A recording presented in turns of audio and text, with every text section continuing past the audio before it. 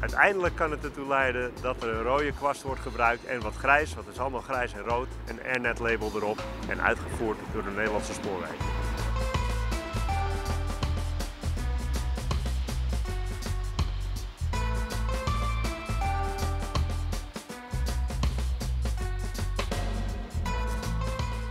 Als je kijkt naar de metropoolregio, dan zie je dat we verschillende lijnen hebben die vaak met een sprintertje worden uitgevoerd door de NS.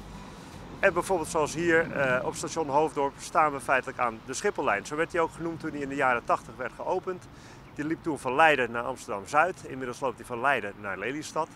Uh, en dit is een van die hele belangrijke lijnen uh, van regionale betekenis in die metropoolregio Amsterdam.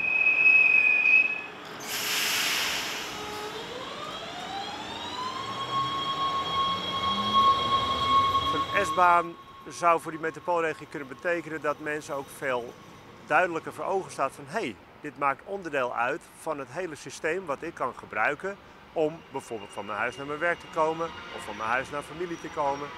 Um, en je ziet het eigenlijk dan veel meer als waar het één netwerk. We hebben dit ook al in de metropoolregio Amsterdam. Het heet Airnet. Het Airnet, dat zijn met name onze metro's en bussen. En als je dan kijkt naar bijvoorbeeld het Airnet en je kijkt naar uh, de metro's in Amsterdam, Iedereen is misschien al opgevallen, maar op de Noord-Zuidlijn staat Airnet, uitgevoerd door het GVB. In Haarlem naar de Zuidas ga je met bus 346, Airnet, uitgevoerd door Connection. Nou, op die manier hebben we eigenlijk al een regionaal netwerk. Interessante gedachte is nu, wat zouden nou die sprinters van die NS toevoegen aan dat Airnet? Zou het daarmee misschien nog meer een echt regionaal openbaar vervoerssysteem zijn.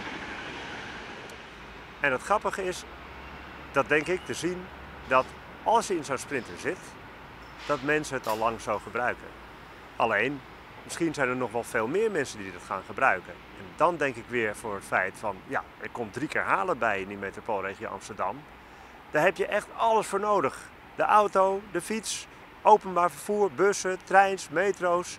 Um, en alleen om die reden al dat het hier nog drukker gaat worden met mensen die hier wonen en werken en op bezoek komen, uh, zou het denk ik heel goed zijn om een heel duidelijk uh, netwerk aan te bieden. Je zou eigenlijk kunnen zeggen dat de sprinters van de NS tot het Airnet gerekend kunnen worden.